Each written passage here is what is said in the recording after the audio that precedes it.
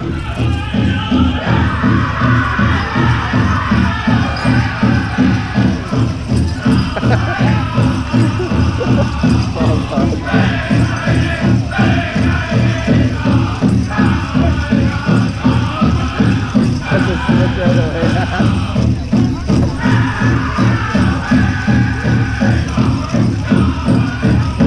job, sister.